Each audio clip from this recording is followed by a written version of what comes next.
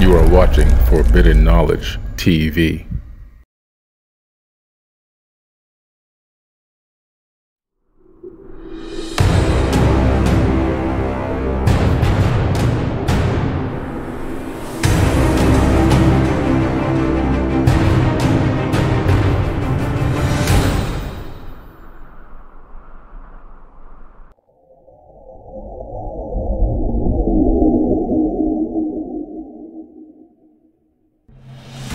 Hello, everybody out there. My name is Eric von Däniken. I am the author of Chariots of the Gods and uh, quite some other titles. First, my hypothesis. Thousands and thousands of years ago, extraterrestrials visited our planet Earth. Our forefathers at that time were Stone Age people. They had no idea of technology, so they believed, erroneously, that these extraterrestrials are some gods. Of course, we all know there are no gods, but our Stone Age people believed these are gods. So the so called gods entered into mythology, into the legends, and also into the great ancient religions. This is the hypothesis, the basic idea.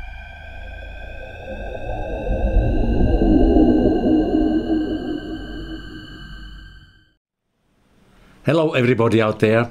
My name is Eric von Däniken. I'm the author of many books, including Chariots of the Gods.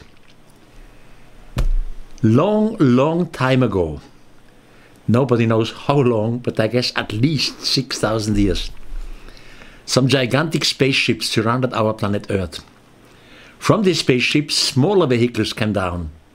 And out of these smaller vehicles, some strange beings now, our ancestors at that time were Stone Age people.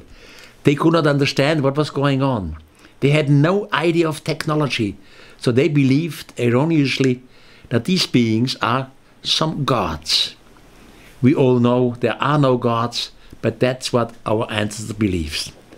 Now, how can we prove such an idea? There are many possibilities. I have mentioned some of them in my earlier lectures here. And here in this speech, I bring new arguments not told to you before. In ancient India, there are gigantic text books, bigger, much bigger than our Bible. Here we have our Bible, maybe about 500 pages. In ancient Indians, we had texts called the Mahabharata. They have roughly more than 2,000 pages, several volumes. One of them is called the fifth volume, the Mausala Parva.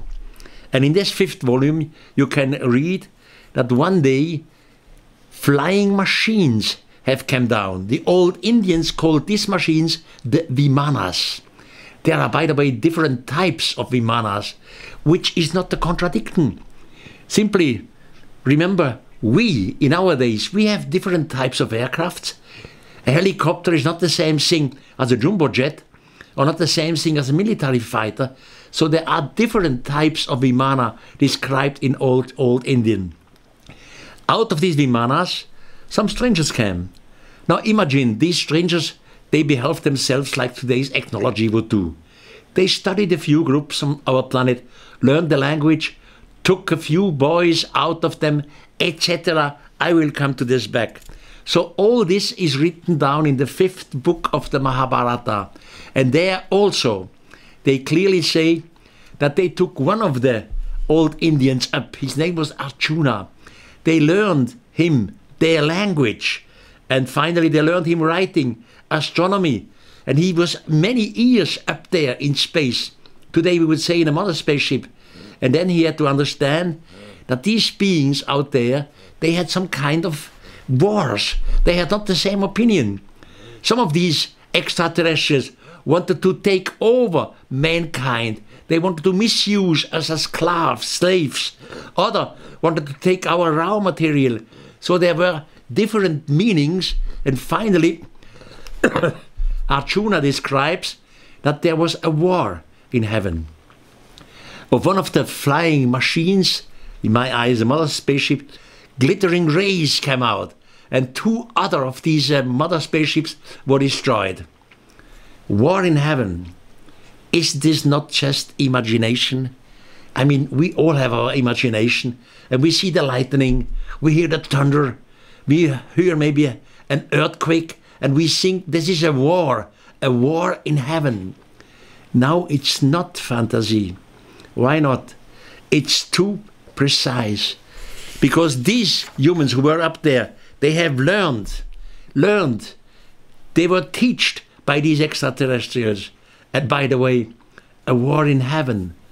We have this in our own Christian and Jewish religion. Don't you remember that in the Bible, the Old Testament, there was a war in heaven?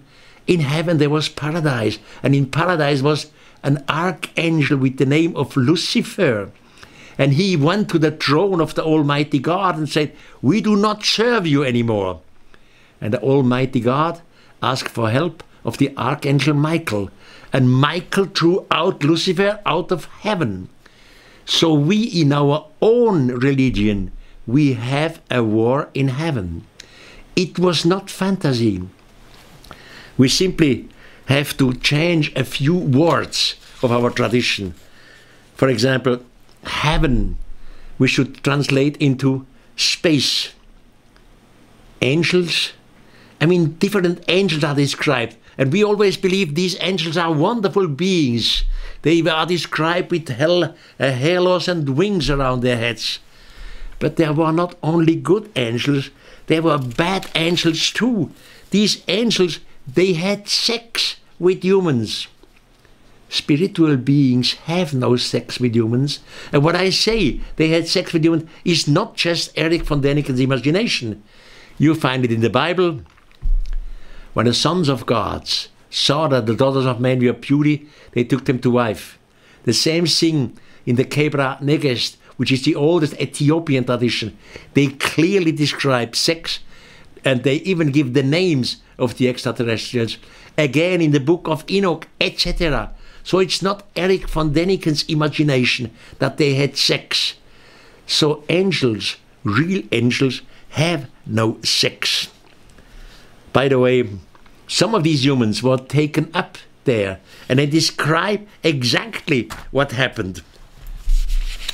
And today we have to change our attitude to these old texts. I mean, in the past, it was normal when some brilliant professors they came to old texts and they start to translate it. Now they read that some humans were taken into the sky. So of course they looked at it in a religious way, in a religious psychological way. But in the meantime, the spirit of time has changed. We know it was not psychology, it was not believing, it was not religion, it was true.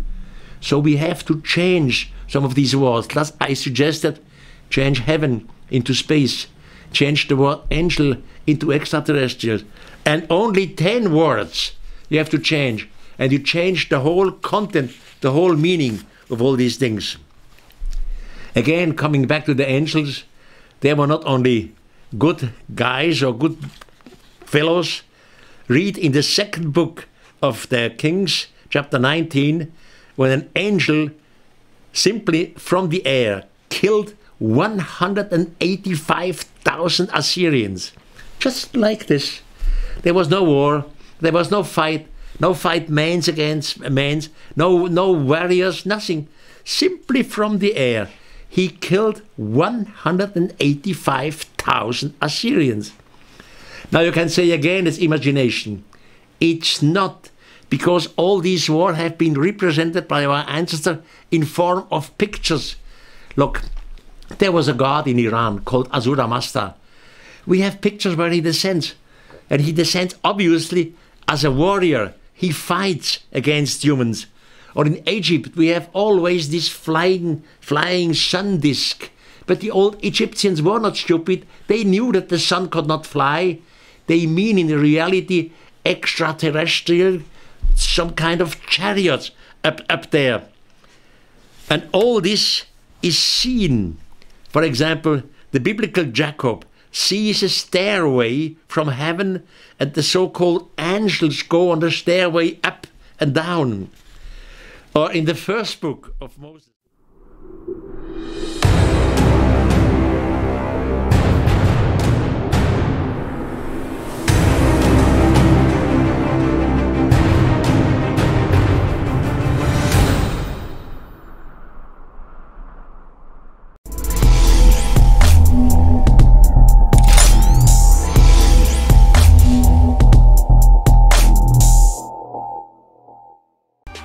Hi, I'm Billy Carson, researcher, speaker, and best-selling author of the Compendium of the Emerald Tablets and Woke Doesn't Mean Broke. I'm inviting you to join me on ForbiddenKnowledge.tv to enjoy hours of great programming, learn the secrets of ancient Egypt, unexplained structures on the moon and Mars, financial literacy, holistic and healthy lifestyles. Go now to ForbiddenKnowledge.tv and get three days free. While there, you can enter to win a Rolls Royce. That's ForbiddenKnowledge.tv.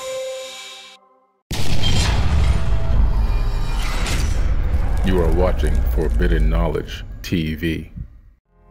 Hi, my name is Billy Carson, and I'm the president of Forbidden Knowledge. We have an amazing investment opportunity here for anyone who wants to buy shares in Forbidden Knowledge. The money that's generated from this crowdfunding platform is going to be used to bring on a new content acquisitions partner. We're going to hire a new in-house graphics designer, a social media manager, a put together a customer service team and a customer service management program that will organize and satisfy all the different legs of Forbidden Knowledge Inc., as well as, and of course, make more improved high quality streaming content for the Forbidden Knowledge TV platform, which right now is featured on Apple TV, Roku, Amazon Fire TV, iOS and Android apps, and also, of course, the web. The streaming platform is a year old right now and doing very, very well. And we're looking for your support where you can not only be a conscious customer, but also be a part owner in an amazing opportunity that includes streaming TV, book publishing, and e-commerce. Grow with us and earn with us. Forbidden Knowledge Inc. You are watching Forbidden Knowledge TV.